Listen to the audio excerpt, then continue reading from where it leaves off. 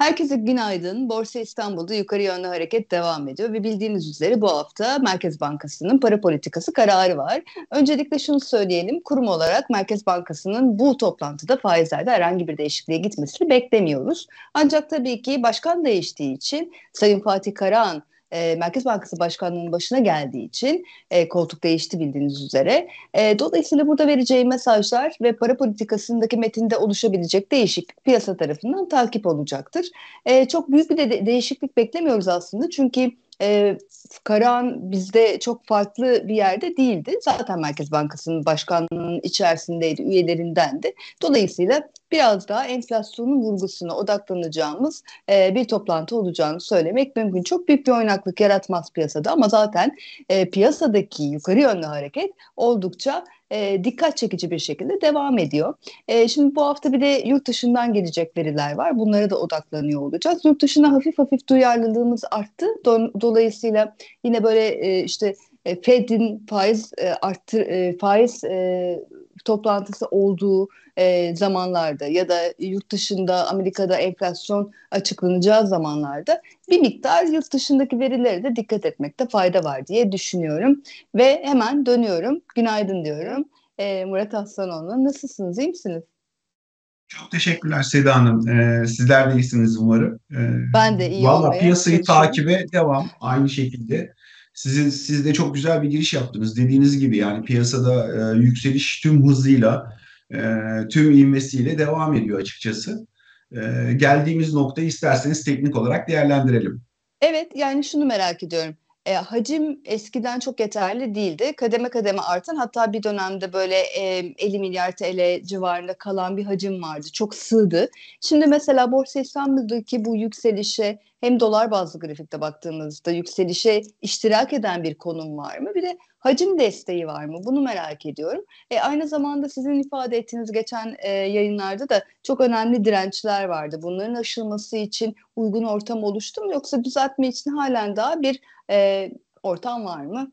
E, hepsine cevap arıyoruz şu anda. Ee, hemen müsaadenizle ben ekranı yansıtayım isterseniz. Tamam. Bu 240 dakikalık e, mum grafiklerde gözüken tablo. Şimdi bu tabloya baktığımızda geçtiğimiz hafta en son e, yayınımızda biliyorsunuz 8900 desteğin hemen üzerindeydik. Evet. Ve 8900 desteği kırılırsa rally biter demiştik. Yani şu verilerimiz elimizde yoktu. E, şu veriler henüz yoktu. Hı hı. E, şu noktadaydık ve endekste 9217'yi görüp geri gelmişti geçen hafta. 8900'ün önemli destek olduğunu, 8900 kırılırsa rally'nin biteceğinden bahsetmiştik.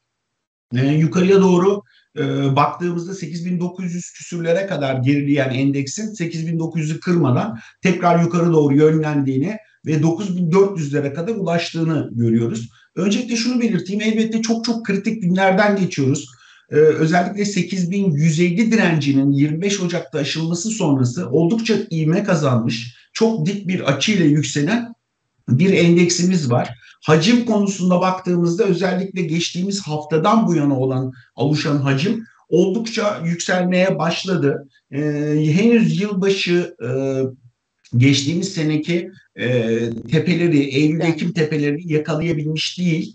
Ama yukarıdaki dirençler de e, şimdi birazdan bahsedeceğim dolar bazında tam o noktalardayız. Önce TL bazlı grafiklerden ilerleyelim isterseniz. Şu yatay direncimiz nereden geliyordu? 9200'ler yatay direncimizdi. Hatırlayacak olursanız bu yükseliş öncesinde 8150 ile 7200 aralığında oluşan e, seviye e, seviyeden gelmekteydi bu 8100 9220 direncimiz bu direncin e, aşıldığını ve endeksin 9400'lere ulaştığını gördük. Yine direnç olarak baktığımızda daha önceki 8563 7203 aralığındaki tepenin 1.618 katı e, bizim 9403 puan seviyesine geliyordu. Endeksin e, geçtiğimiz hafta e, başında e, bu hafta başında burayı gördüğünü ve burada zorlandığını görüyoruz. Aslında tüm bu dirençleri tek tek böyle açıklamak yerine kabaca baktığımızda şunu söylemek mümkün. Biz 8 Ocak'ta 7684 direncinin aşılmasıyla birlikte piyasada e, bir alt sinyali oluşmuştu. O günden bu yana da pozisyondan çıkış şartı olarak sürekli olarak bir seviyeyi takip ediyoruz. Bu seviye hiç kırılmadan bugünlere gelindi. Geçtiğimiz hafta 8900 olan bu seviyeyi de artık altta 9100 olarak takip etmek durumundayız. 9100 desteğinin kırılıp kırılmayacağı çok çok önemli. Yukarıda birçok direnç telaffuz etmeye devam edeceğim şimdi ama esas önemli olan 9100 desteğinin kırılıp kırılmadığı, kırılması bu rallinin bittiği anlamına gelecektir. 9100 desteği kırılmadıkça da bu rally devam ediyor olacak. Nereye kadar devam edebilir diye baktığımızda da e, yukarıda e, 9500 ardından da 9600'lü rakamlar var. E, bu rakamların mantığını da isterseniz açıklayayım teknik bir detay olarak. Daha önceki hareketimiz 7200'den işte dediğim gibi 8150'lere kadar sürmüştü. Bunun 1.618 katı 3 aşağı 5 yukarı 9570'lere geliyor. Ee, yine e, bu, buna benzer bir hesaplamayla bir de yukarıda 9670 seviyeleri var. E, ama kafa karışıklığı yaratmasın. Tekrar söylüyorum. Yani altta 9100 için e, bizim için önemli. Pozisyondan çıkış şartımız 9100 puan seviyesi altında kırılma olması. 9100'ün altında kapanışlar gerçekleşmesi halinde e, ortaya çıkacak. Tabii şimdi 8900 bizim için çok önemliydi ama yükselen bir eğilimde alttaki desteklerin de tabii ki aslında yukarı yönde de yaklaşmasını da bekleriz. Hani mesela takip eden stop loss diye bir şey var. E, dolayısıyla Aynen. yükselen bir piyasada aslında yatırımcılar da stop loss seviyesi yükseldiği piyasada ama yukarı yönde çekmesi gerekir. Bunun gibi bir şey. Aynen çok güzel ifade ettiniz. Yani bu yükselen piyasayı izli stop loss mantığıyla takip etmek lazım. Stop loss kavramı e, oldukça önemli çünkü oldukça güçlü ve yol almış, mesafe kat etmiş bir trendle e, evet. bir trend izliyoruz, bir trendin içerisindeyiz. E, izli stop loss mantığıyla hareketli ortalama kullanılabilir. Kimi e, yatırımcılarımızın e, özellikle işte traderlara yönelik tabii bütün bu söylediklerim e, izli stop loss olarak MOST indikatörü kullandığını biliyoruz. Kimisinin hareketli ortalamaları kullandığını, 10 günlük hareketli ortalamayı kullandığını, 8 günlük hareketli ortalamayı kullandığını evet. biliyoruz. Bu her elbette her bir trader için e, belki de biraz farklı e, rakamlar teşkil edecektir. Ben de önceki geri çekilme seviyelerine bakarak kullanıyorum. Önceki geri çekilme en büyük geri çekilme oranlarından bir tanesi ta e, bu rallinin başında kalmıştı. Yani 7600'lerden e, 7400'lere doğru gelişte bir yüzde üç, yüzde üç buçukluk bir geri çekilme olmuştu. Bu rally yüzde üç, yüzde üç buçukluk geri çekilmeleri e, cover edebiliyor. E, bu mantıkla 9100'e kadar olan geri çekilmeleri normal karşılamak gerekiyor. 9100'ün altındaysa e, artık trendde bir değişim olduğuna işaret ediyor e, şeklinde değerlendirme yapabiliriz. Tabii ki ben bugünkü veriyle 9100 diye e, e, bahsediyorum. Rally ilerlemeye devam ederse bu rakamda sizin demin belirttiğiniz gibi yukarı çıkmaya devam edecek. Doğru. TL bazında bütün bunlar olurken yani yukarıda 9500, 9600 ilk e, şu an için direnç olarak gözüküyor. Aşağıda da 9100 desteği. Önce burayı e, konuşmuş olalım. Dolar bazında ne olup ne bittiğine baktığımızda e, hemen dolar bazlı grafiğe dönmeye çalışayım. bu daha geniş bir resme bakıyoruz. Daha orta uzun vadeli yatırımcılar için dolar bazında neler yaşandı bir ona bakalım. Şimdi sizin de belirttiğiniz gibi yani 26 Aralık'tan sonra başlayan rally e, TL bazında bizi rekor seviyelere taşıdıysa da henüz dolar bazında e, tarihi zirvelere ulaşmış değiliz. E, son dönemde e, özellikle 23 e, 2023 yıl başında Endeks 305 dolardaydı. Daha sonra e, oldukça sert bir şekilde 2023 yılı içinde seçim dönemine kadar gerilemişti. Seçim dönemi sonrası Eylül-Ekim aylarında 310 e, 313 dolar seviyesine kadar yükselmiştik. Ardından yaşanan süreçte 240 dolarlara kadar düşmüştük. Bugün yaşadığımız tüm bu süreç içerisinde de yeniden 305 dolar seviyesine kadar ulaşmış durumdayız. Öncelikle şunu söylemem lazım ki 26 Aralık'tan sonra başlayan yükselişe ben açıkçası bugüne kadar hep kuşkuyla ve şüpheyle baktım. Çünkü evet. bu yükselişin umarım takip edilebiliyordur. Bu yükselişin şu düşüşe karşı bir tepki olabileceğini, bu tepkinin sınırlı kalabileceğini ve bu tepki tamamlandıktan sonra da aşağı doğru bir kırılımla ilerleyen dönemde yeniden e, daha kötü fiyat seviyelerine doğru gerileyebileceğimiz düşüncesindeydim. 280, 282, 287, 288 dolar seviyeleri benim için önemli dirençlerdi. Bu dirençlerin aşıldığını ve 305 puan seviyesine e, ulaşıldığını görüyoruz. Bu nokta oldukça kritik. Yani bu direnç aşılıp bu rally 2024'ün orta uzun vadesinde, 2024'ün ilerleyen aylarında devam edip bizi 4 dolar seviyelerine taşıyabilecek bir trend mi bu? Yoksa bu dirençte takılıp aşağı doğru geri çekilmeye başlayıp da e, çok e, sınırların ötesinde bir tepki yükselişi olarak mı kalacak? Böylesi kritik bir günlerden geçiyoruz. Geçen haftadan beri bence en önemli e, kritik e, dönemin içerisindeyiz bu çerçevede. Bilmiyorum Hı. anlatabiliyor muyum? Yani tam e, sınırlardayız 305-310 seviyesi önemli direnç. Önceki tepeler bu tepe aşılabilecek mi? Aşılması için bence çok temel bir e, değişim gerekiyor. İşte bilmiyorum e, söylememiz ne kadar uygun ama sosyal medyaya yansımış. Ben de oradan okudum. E, işte gri listeden çıkacağımıza yönelik bir takım söylentiler, beklentiler var. E, bazı e, şirketlerin yurt dışından ilgi görüp yabancı ortak alabileceğine yönelik bir takım Yine evet. söylentiler var. Altını çizerek söylüyorum. Tüm bunların tüm bunların reel olarak da gerçekleştiğini görmemiz, yabancı para girişinin mutlaka artarak e, devamını sağlıyor olmamız lazım ki böylesi önemli ve kritik bir direnci aşabilelim. Yani biz 2023'ten beri aslında yerimizde sayıyoruz dolar bazında. Reel anlamda endeks tarihi e, nominal bazda rekor seviyelerde olsa da tablodan çok net gözüktüğü üzere dolar bazında e, reel bir getiri sağlayabilmiş bir borsaya sahip değiliz. En azından endeks için konuşuyorum. Elbette 2000... bu süreç içerisinde dolar bazında çok yüksek getiriler sağlayan hisse senetleri olmuştur. Ama benzer şekilde dolar bazında tarih zirvelerinden çok uzakta, e, çok aşağılarda senetler de var. Dolayısıyla endeksi bir ortalama olarak görürseniz borsanın ortalamasına baktığınızda 2023 yıl başından bu yana reel anlamda net bir getiri sağlamış değil. 305 ile 220 aralığında gitmiş gelmiş bir borsadan bahsediyoruz.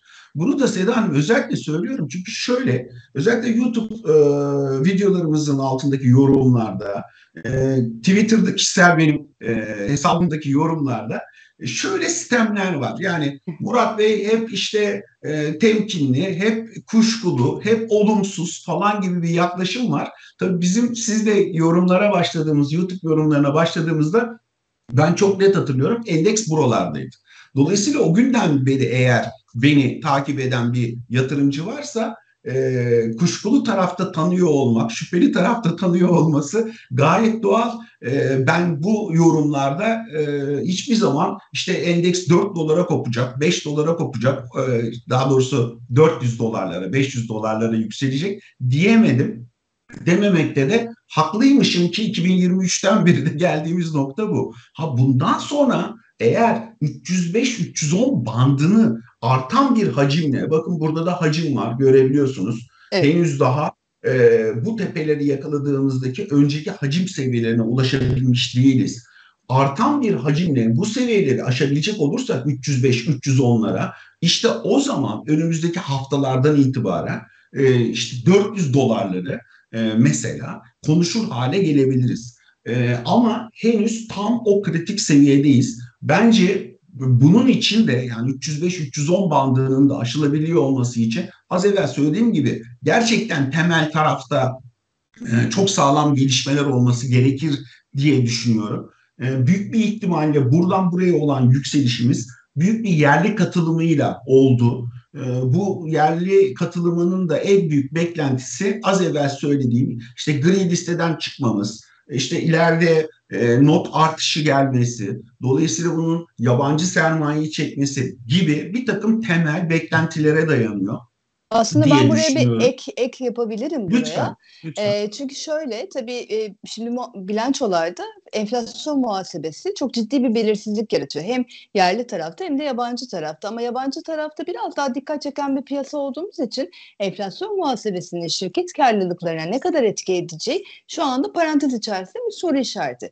E, o nedenle bunun yavaş yavaş e, bilançoların gelmesiyle birlikte bu soru işareti de bitiyor. Hani bu da işte biraz da e, seçime de denk geliyor. Dolayısıyla yılın ikinci yarısından sonra biraz daha belirgin bir piyasa koşulları ve şirket karlılıkları ortaya çıkacağını e, düşünüyoruz ve aynı zamanda da endeks içerisindeki ağırlığı yüksek şirketlerde de enflasyon muhasebesi yok. Mesela Türk Hava Yolları endeks içerisindeki ağırlığa en çok sahip şirketlerden bir tanesi. Türk Hava Yolları'nda enflasyon muhasebesi uygulanmıyor. Çünkü yabancı para pozisyonunu e, fonksiyonel para birimi olarak kullandığı için ya da mesela Ereğli yine aynı şekilde ağırlığı yüksek ama işte bir BİMAŞ, e, bir Migros ya da ne bileyim Koç Holding, Sabancı Holding gibi e, şirketlerde yine ağırlığı yüksek ve enflasyon muhasebesi var. Dolayısıyla ağırlığı yüksek olan şirketlerde e, endeks içerisindeki ağırlığından bahsediyorum. Eğer güçlü karlılık gelmeye devam ederse bu da hem endeksi temel anlamda destekleyecek hem de bilançolar geldikçe de yabancı yatırımcının gözünden şirket karlılıklarındaki o oluşan belirsizlik de bitmiş olacak diye düşünüyoruz. Ee, çok çok önemli bir noktaya temas ettiniz. Dediğiniz gibi e, endeksi sürükleyen ana kağıtların bu anlamdaki performansları evet. oldukça önemli olacak. Evet. Ee, dediğim gibi yani tablo aslında grafik olarak baktığınızda çok net. Yani 305'lerden 200 küsürlere düşmüş ardından tekrar 310'lara yükselmiş ardından tekrar 240'lara kadar gerilemiş ve Aralık'tan bu yana yaşanan performansla da tekrar 305-310 direncini deneyebilir hale gelmiş evet. bir borsa endeksimiz var. E, şu ana kadar e, 2023'ten bu yana 2023 yılbaşından bu yana alacak olursanız aşağı yukarı 13-14 aydır bir anlamda yerinde saymış. E, şu anda da üst sınırlarda dolaşan bir borsadan bahsediyoruz.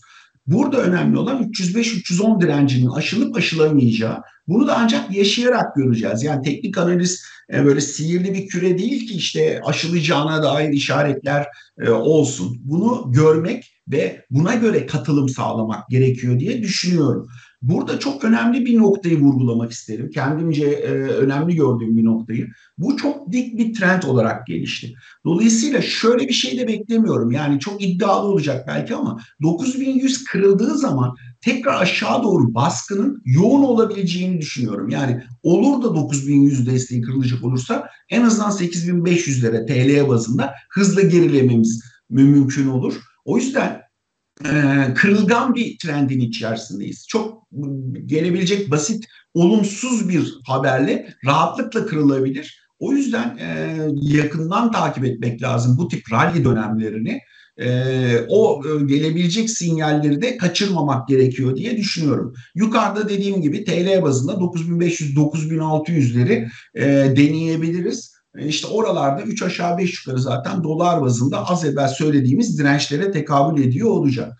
Dolayısıyla e, manşette baktığımızda 9100 desteği geçtiğimiz haftaya göre 8900'de o 9100'e taşındı. 9100'ün kırılıp kırılmadığını takip ediyor olmamız lazım. Elde mevcut hisse senedi pozisyonları taşınırken e, teknik analize uygun hareket etmek isteyenlerin 9100 desteğini takip ediyor olması gerekir diye düşünüyorum. E, yeni pozisyon açarken de 9100'ü stop loss kabul ederek pozisyon açmakta fayda var. Yukarıda da 9500-9600'leri aşıp aşamayacağımızı, dolar bazında da 305-310 dirençlerini açıp aşamayacağımızı takip etmemiz gerekir diye düşünüyorum. Siz muhtemelen X Bank'ı e, hemen yine soracaksınız. Benzer e, düşünceler X Bank için de e, kısmen geçerli. X Bank'ta da e, yükseliş potansiyeli devam ediyor. Yani bu söylentiler arasında bankalara yönelik söylentiler de çıkıyor. Sosyal evet. medyada takipçilerimiz de takip ediyorlardır. E, burada beni tek endişelendiren ee, geçtiğimiz hafta da aynı şekilde söylemiştim. Ee, haftalık bazda e, bu da yine dolar bazında X Bank'a baktığımızda böylesi takoz bir görüntü var. Yani böyle bir e, bir yükselen takoz içerisinde yükseliş var, devam ediyor ama her seferinde bir önceki yükseliş dönemine göre daha küçük bir yükselişten bahsediyoruz.